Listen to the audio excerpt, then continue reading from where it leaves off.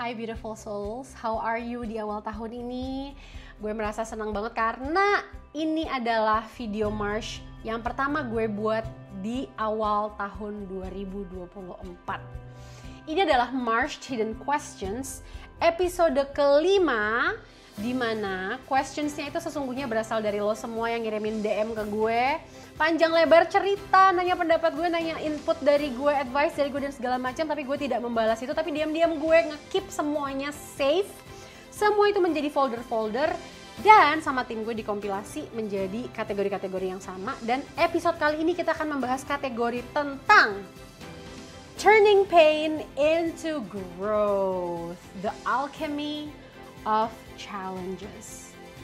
Oke kita langsung aja ke pertanyaan pertama bagaimana proses pribadi Caca dalam mengubah rasa sakit menjadi pertumbuhan yang pernah kamu alami. Buat gue perlu melihat ke dalam. Kalau misalnya gue butuh bantuan, gue nggak bisa misalnya cuman melihat ke dalam doang kayaknya kok journaling aja mandiri healingnya kok kayaknya nggak cukup ya meditasi kok kayaknya nggak cukup ya dengerin sound healing misalnya yang dilakukan sendiri kok kayaknya nggak cukup ya ketika itu muncul pikiran seperti itu artinya gue butuh bantuan. Dan dibutuhkan kerendah hatian untuk mengakui bahwa we need assistance. Dibutuhkan humility to admit that we need help. Di situlah gue mencari mentor spiritual guru konselor psikolog orang-orang yang lebih paham tentang personal growth professional growth relationship growth, financial growth, apa pun itu. Dan di situ gue banyak banget jadi dapet tools. Jadi gue adalah seorang advocate, gue tuh mengadvokasi banget seeking for help when you need it. Terapi itu bukan sesuatu yang cuman dilakukan oleh orang-orang atau cuman untuk orang-orang yang bermasalah aja yang terapi. No. Kenapa itu nggak valid? Karena semua living human being on earth itu bermasalah kita baru nggak akan ada masalah lagi kalau kita udah die. Oke? Okay? So, melihat ke dalam, memperkaya tools untuk healing lewat orang-orang yang gue datangi dan gue pelajari dari mereka segala macam caranya dan do the exercise which usually are painful. Untuk grow, untuk stretch dan jadi lebih berkembang, jadi lebih besar, jadi lebih bijak, jadi lebih pandai, jadi lebih kuat, it's painful. Karena kita harus ngelihat luka-luka yang ada dalam diri kita yang kita tuh kadang-kadang udah nganggepnya kita udah let go kok kita udah move on kita udah udah udah udah ber, berdamai dengan itu. Tapi ternyata contoh dalam sesi hipnoterapi kok kalau ngebahas itu lagi pas digali gue masih nangis. Gue masih penuh dengan emosi gitu beban emosi yang berat weight of emotionnya tuh masih ada gitu masih berapa kilo Ciri-ciri orang yang sudah berdamai dengan luka batinnya, apa pun itu luka batinnya adalah ketika orang ini membahas luka batin tersebut atau menceritakan hal itu kepada orang lain, dia udah netral. Udah terlihat dia udah biasa aja, udah nggak ke-trigger. That is the key to measure if we have healed or not. Whatever that is. Kedua, ada nggak tantangan khusus yang paling berkesan dan bagaimana kamu berhasil melewati proses itu? Semua chapter kehidupan gue punya tantangan. Dan untuk naik ke chapter yang setelahnya perlu lewat tantangan lagi, tantangan lagi, tantangan lagi. Dan lo pernah gak sih ngerasa kayak, oh my god, uh, oke, okay, gue dapet challenge baru dalam hidup gue nih, yang berat banget. Gue harus menghadapi ini, healing soal ini, ini, ini, ini, ini, ini, to grow untuk mengalahkan permasalahan yang ada atau tantangan yang ada ketimbang masalah atau tantangan itu yang mengalahkan kita. Pernah gak sih lo ngerasa gini? Gila ya. Yang dulu aja itu bisa gue lewatin. Kok yang ini gue gak bisa lewatin ya? Lo tau gak kalau pemikiran itu sangat valid. Dan semua orang merasakan hal yang sama. Karena ketika lo di chapter 4 lo punya tantangan A lalu lo menghadapi itu dengan cara tertentu di chapter 5 lo punya tantangan B lo nggak bisa pakai cara yang udah lo kuasai di chapter 4 you know what I mean Gak bisa kita pakai cara lama yang udah efektif, berhasil membuat kita heal, membuat kita grow, berkembang, jadi lebih wise, bla bla bla bla bla bla, all this wisdom and enlightenment that we've gotten. Terus kita pakai itu di tantangan di chapter berikutnya nih, untuk bikin kita lebih grow lagi nih. Gak bisa. Jadi setiap tantangan adalah tantangan yang terberat in that moment that I face it. Oke, okay, yang ketiga, bagaimana kamu berhasil menjaga mindset positif ketika dihadapkan pada tantangan yang sulit? Melatih diri. Awalnya pasti akan ada rasa kayak ancur, gue nggak sanggup, gue nggak bisa, gue mau nyerah. Pasti akan ada rasa seperti itu. Tapi stamina spiritual atau stamina mental seseorang itu tuh kayak stamina fisik kayak orang nge-gym awalnya kan pasti capek dulu, males dulu, ototnya sakit dulu.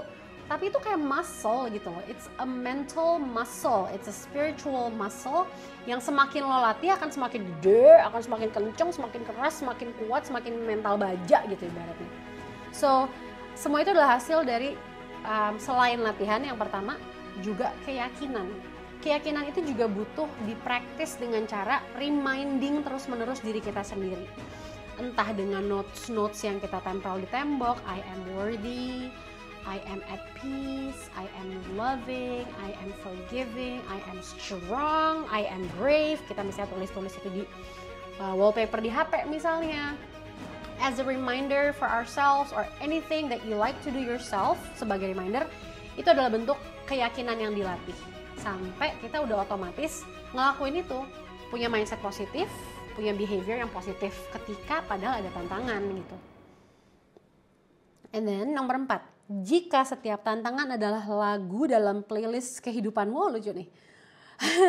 jika setiap tantangan adalah lagu dalam playlist kehidupanmu, lagu apa yang paling mewakili momen ketika kamu mengubah rasa sakit menjadi kekuatan. Oh my god, I love this song by Eminem, judulnya Legacy.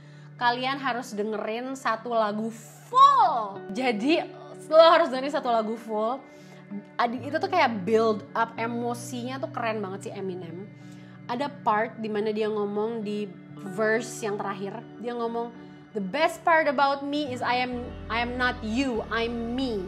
Wah itu keren banget sih. Itu dengerin dulu tapi ya baru rasain terus baru ke part yang gue bilang barusan itu tapi itu keren banget sumpah I love that song that's the theme of my apa ya mendobrak setiap tembok dalam transmuting challenges and pain into growth.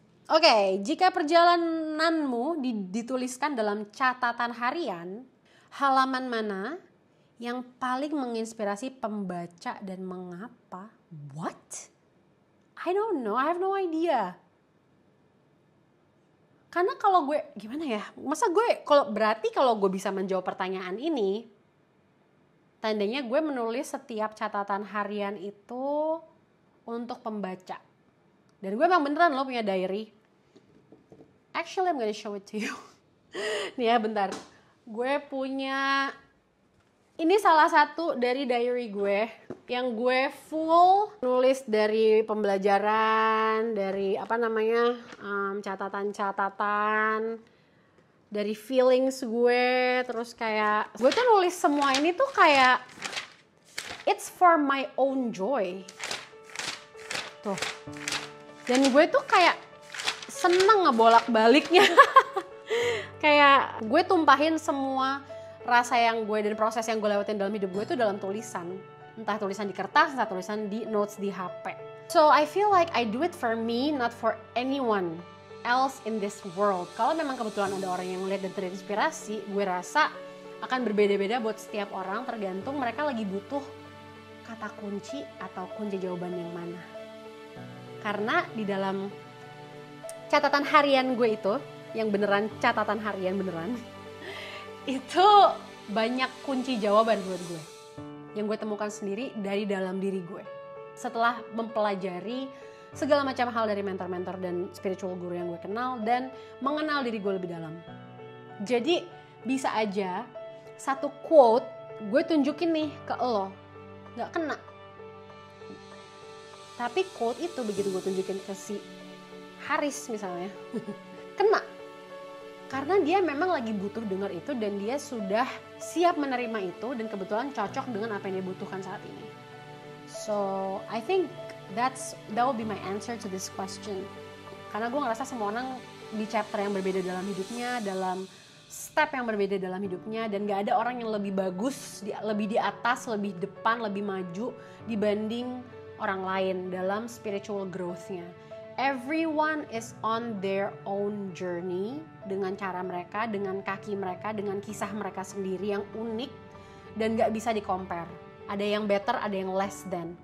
No, it's not a competition.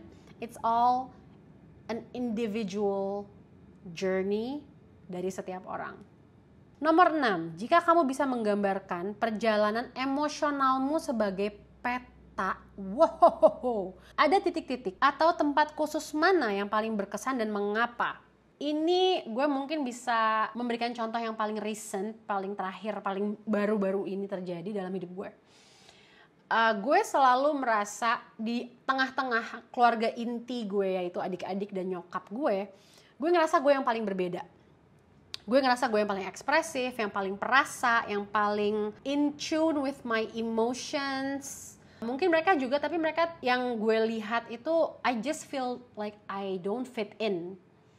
Dan gue suka sharing, gue suka warmth, gue suka kasih sayang, loving yang diekspresikan. Tapi mereka berbeda gitu. Dan itu menjadi journey yang panjang buat gue. Karena setiap kali gue seumur hidup gue sejak kecil sampai sekarang, setiap kali gue berada di tengah-tengah keluarga gue ini, gue tuh ngerasa kayak I don't belong here dan jadinya gue punya ekspektasi bahwa keluarga gue harusnya bisa sama kayak gue. Dan karena punya ekspektasi dan tidak terpenuhi karena memang keluarga gue tipe orang yang berbeda dengan gue emang dari sononya aja pabriknya cetakannya beda gitu kan. It's not their fault it's no one's fault it's no one's fault. There's no one or nothing to blame here cuman berbeda aja. Dan ketika ada ekspektasi itu gue jadi sakit hati. Kok dia nggak validasi gue sih? Kok dia diem aja sih pas gue menunjukkan ini? Kok dia nggak lebih loving sih? Kok mereka diem sih? Kok mereka ngelihat timeline fit Instagram story sih pas kita lagi bareng-bareng? It should be a quality time. Pokoknya I'm a very feely person gitu. Gue perasa banget gue pengennya yang ah yang warm gitu. Gue pengennya gue tuh tipenya yang seperti itu. And then gue belajar suatu hari dapat pencerahan bahwa simpelnya gini cak lo nggak akan bisa ngerubah batu jadi air. Anggota keluarga lo ini kayak batu.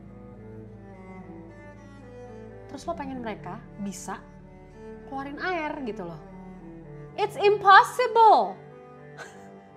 Jadi either lo berperang dengan itu terus menerus umur hidup lo atau lo berdamai dengan itu terima mereka dan bentuk wow gue baru sadar sih. Oh, memberikan kebebasan kepada setiap orang atau kepada seseorang untuk menjadi dirinya sendiri tanpa ada embel-embel ekspektasimu dia jadi A B C D E buat ketenangan dan kesenangan kita membebaskan mereka menjadi diri mereka ketika sedang bersama kita. Nggak usah adjust apa-apa depan kita gitu loh.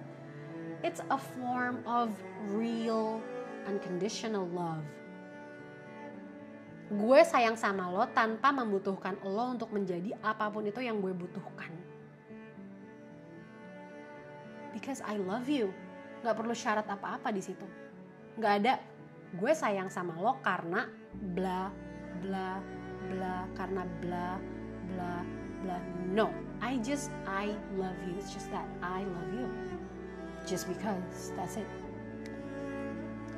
Jadi itu adalah salah satu tempat atau titik khusus yang berkesan dalam perjalanan emosional gue. Ketika gue sudah bisa menerima anggota keluarga gue ini adalah orang-orang yang they're just different from me.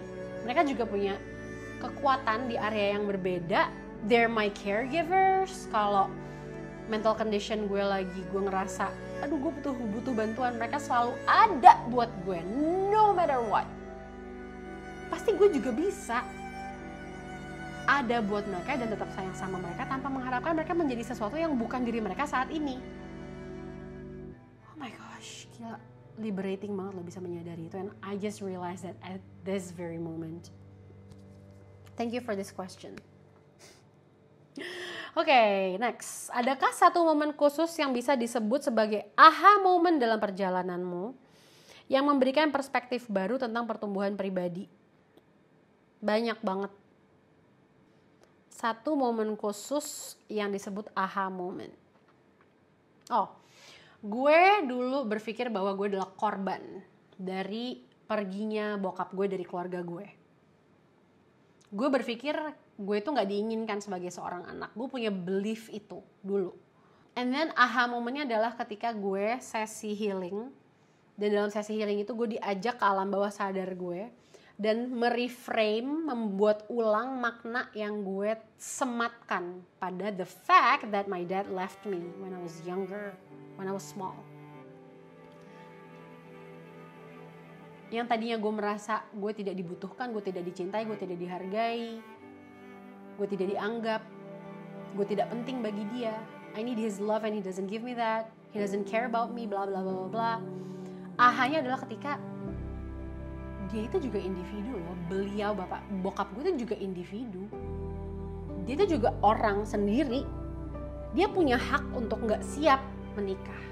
Dia punya hak untuk nggak siap punya anak di usia semuda itu. Dia nggak siap untuk mature seperti tuntutan yang datang ke dalam hidup dia di masa mudanya umur 20-an uh, eh, diminta sama orang tua untuk menikah dan punya anak gue gitu sebagai anak pertamanya.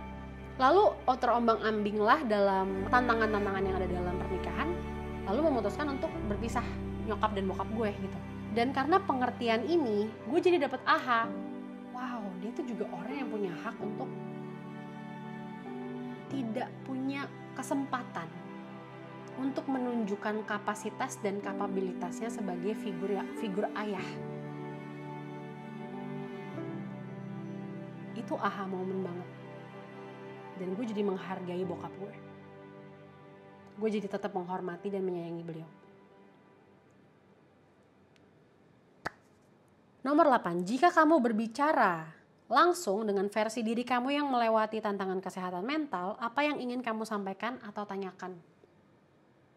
Gak ada kalau pertanyaan, karena I believe in myself, whether it's my past self or my future self. Gue percaya semuanya itu, gue yang dulu, gue yang sekarang, gue yang di masa depan tahu bahwa kita berada dalam lini yang tepat, yang udah diatur sama yang maha kuasa. Emang harus lewatin jalan ini, this is your path, and you're on the correct path. Gue selalu percaya itu, gak pernah enggak kalau yang pengen gue kasih tahu adalah selalu ya you are your own best friend. Lo adalah sahabat diri lo sendiri. You're never alone. When you feel or think that you're alone the most you still have me. I am my best friend. I am my best friend. And I love her and I love me. I'm proud of me. I like me. I am my favorite person And it comes from a place of gratitude, bukan kesombongan. It's a form of self-love. Yang membuat gue jadi utuh, yang membuat gue jadi kuat, dan percaya bahwa everything, all, all is well. Pertanyaan ke-9, apa pesan yang ingin kamu sampaikan kepada penonton yang mungkin sekarang merasa hidup terasa pahit dan menyakitkan. It's all a it's all just a season. Gue pernah berada di masa yang terendah banget dalam hidup gue sampai gue berpikir, tapi ini menurut gue pemikiran yang sangat membantu. Kan gue suka mikir ya dulu-dulu, kenapa sih ini terjadi sama gue? Apa hikmahnya ya dari pembelajaran ini, dari kejadian ini, atau musibah ini? Apa lessonnya maksud semesta nih buat gue? Yang Tuhan pengen gue dapetin. Terus udah gitu gue mikir, what if sesuatu tragedi terjadi on its own? Karena dia emang harus terjadi aja. Karena dunia harus berputar. Karena matahari harus terbenam, karena matahari harus terbit, karena hujan harus jatuh pas waktunya hujan, karena tragedi harus terjadi pas waktunya terjadinya tragedi gitu. Emang gitu aja. It has nothing to do with me. Ya mungkin gue kena efek gitu tapi itu gue nggak ada hubungannya sama gue. Gue aja yang kegeeran mikir itu tuh ada message-nya buat gue. Tapi kalau gue mau berpikir ada pembelajaran dari situ buat gue nggak salah juga. Karena gue bisa grow dari situ. But if we think and believe that things happen because they just have to happen karena lagi musimnya semua itu ada musimnya. Ada saatnya di mana kita ngerasa pahit ngerasa marah titik terendah dalam hidup kita membantu loh kalau kita berpikir it has nothing to do with us tapi ada musimnya lagi tiba-tiba kok semuanya jadi baik ya? Tiba-tiba kok masalah ini nggak tiba-tiba sih. Maybe we did something to make a problem disappear atau solve selesai. Tapi masalahnya selesai. Kok sekarang rasanya jalan jadi lebih lancar dalam hidup. Kita ngerasa confidence confident lagi. Kita ngerasa happy lagi. Happy itu lebih gampang diraih loh di musim yang ini dibanding chapter yang sebelumnya. Gue nyebut itu chapter atau musim dan musim ini akan selalu berputar. Akan ada saatnya di mana kita we feel like we know everything. We feel like we can figure anything out. Ada juga musim di mana nantinya datang lagi nih. Gue lost lagi gue bingung lagi gue pahit lagi gue luka lagi. It's just a part of living. Musim baru akan berhenti kalau kita udah die kayak yang gue bilang tadi di awal So it really helped me in facing semua tantangan yang pernah ada di masa lalu gue. Cara pikir seperti itu. Bagaimana kamu melihat masa depanmu setelah melewati tantangan ini dan apa harapan dan aspirasimu ke depan? Gue sangat yakin, yakin banget, yakin banget bahwa yang maha kuasa tuh cinta banget sama gue. Gue yakin banget itu. Dan masa depan gue itu penuh cahaya yang terang tapi di tengah-tengah cahaya yang terang juga ada kegelapan yang dalam. Dan itu it's just ya again bagian dari hidup. Gitu. Jadi gue ngeliat masa depan gue, gue berharap apa ya? Gue suka gini sih mikirnya, gue ngapain berharap? Bukan gini loh, bukan ngapain. Gue nggak pantas punya harapan apa-apa terhadap hidup gue. Karena kalau gue punya harapan, kan Allah udah nulisin jalan yang lebih baik, yang terbaik kan. Dan gue percaya gue akan sampai ke situ. Cuman rutenya aja nih yang lewat mana nih gitu loh. Lewat kemudahan, cobaan, keseruan, roller coaster atau yang roller coaster yang pelan buat anak-anak doang atau roller coaster yang kayak buat orang dewasa, apa pun itu rutenya. Jadi gue kayak ngerasa gue nggak berharap apa-apa bukan karena gue pesimis gue nggak berharap apa-apa justru karena gue sangat 100 juta persen optimis semua yang terjadi adalah yang terbaik buat gue. Dan ini berlaku buat semua orang yang ada di muka bumi ini. Gitu. Alright satu pertanyaan terakhir. Bagaimana keberanian untuk terbuka tentang kesulitan membantu kamu menggali kekuatan yang ter tak terduga dalam dirimu? Gue nggak pernah menduga apa yang gue share, keterbukaan gue tentang kesulitan gue, itu bisa membuat orang ngerasa terbantu secara personal dari dalam hati dan jiwanya. Seperti yang gue bilang, ada yang ngomong ke gue, gila cak karena nonton konten lo, gue gak jadi bunuh diri, stuff like that. It's big for me. Itu yang membuat gue terus melakukan hal ini. Sharing dalam konten-konten gue mengenai sesuatu yang raw, yang mentah, yang real, yang vulnerable, yang rapuh, ketika lagi gue bangkit gue bangkit. Ketika gue lagi lemah ya udah gue lemah. Tapi gue it's just being human. I wanna show up in the world sebagai manusia. Bukan sebagai boneka bukan sebagai impian bukan sebagai sesuatu yang gak nyata. And that will close the video today. Itu closingnya. Gue pengen menjadi manusia bukan boneka bukan impian bukan sesuatu yang gak nyata Thank you so much for watching Marsh Hidden Questions episode kali ini. I'll see you on the next one. I love you so much, beautiful souls. Bye.